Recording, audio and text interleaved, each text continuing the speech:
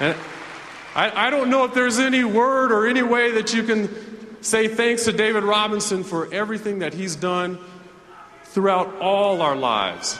Uh, David, all we can say is thank you, and we hope that you understand how much we really appreciate you.